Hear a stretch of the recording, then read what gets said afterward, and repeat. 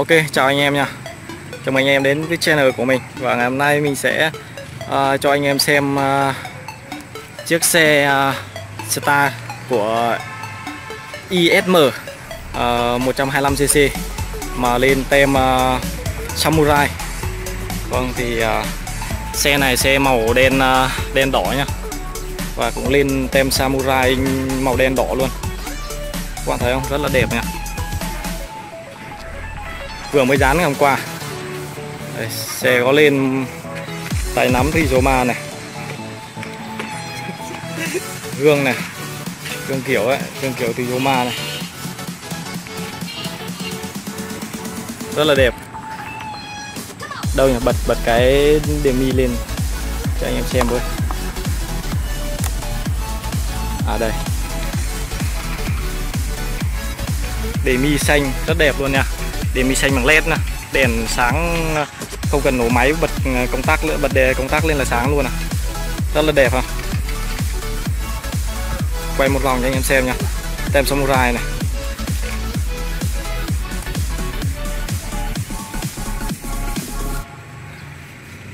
Khá là đẹp nhưng mà bên uh, dán thì người ta dán hơi bị hơi bị lỗi này. Dán cái chỗ này người ta không có tháo vỏ dán trực tiếp trên xe luôn, cho nên là, kiểu là, nó, người ta cắt bên ngoài này này.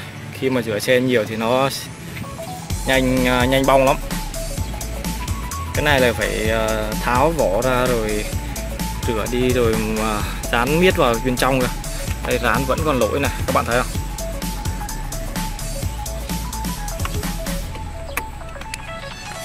Đồng hồ điện tử ăn hoi nhá với 30 triệu mà anh em mua cái xe này đi tour đi phượt rồi đi chơi thì khá là đẹp.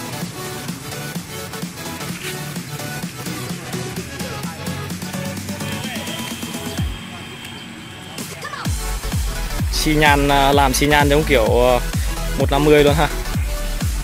Đó. thiết kế rất thời trang. Cái này này, cái càng sau này cũng giống của 150 luôn này. Mỗi tội cái xe này nó có cái sóc hai cái sóc ở hai bên này này. Có hẳn bình dầu luôn. Phanh cũng kiểu phanh giống như kiểu của Exciter luôn này.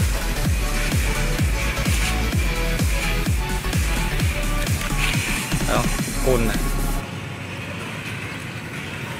Rất đẹp. Mình thấy khá là đẹp nhưng mà mỗi tội với con xe này nó làm cái sóc hai cái sóc bên sau hơi hơi xấu. Mình nghĩ thế. Đây em thấy không? Đây là chỗ mình làm nhá đây là lúc bây giờ là gần 6 giờ rồi nên là nó hơi tối à. Đấy, xưởng của mình bên kia. Khá là đẹp. Vâng thì cái con xe này là con xe mà vào hôm trước mình có test thử tốc độ của nó. Thì con này chạy được lên khoảng 110 có khi đề ba biết cách đề ba có khi lên được 115 và còn uh, Exciter 135 của mình bên kia là cái con mà đã giành chiến thắng ngày hôm ấy đó anh em nào thích ờ, xem ờ, con 135 của mình thì ờ, comment dưới video nha mình sẽ quay cho anh em xem. Vâng chào anh em. Anh em xem video nhớ like và sub để ủng hộ kênh mình nha